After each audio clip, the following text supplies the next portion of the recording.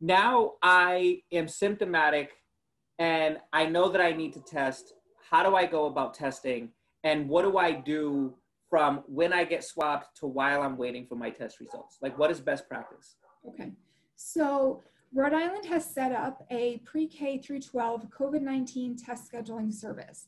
So, this is a number you can call um, seven days a week between 7:30 a.m. and 9:30 p.m. to schedule a test for anyone associated with the pre-K through 12 community, whether you're a student, a staff member, an athletic coach, a custodian, whatever your role is in that pre-K through 12 community, you can call this hotline and um, schedule a test.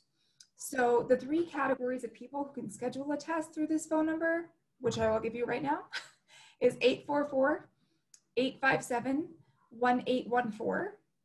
Um, so uh, you can uh, schedule a test through that phone number at, uh, there are a number of um, testing sites throughout the state um, dedicated to K through 12 testing.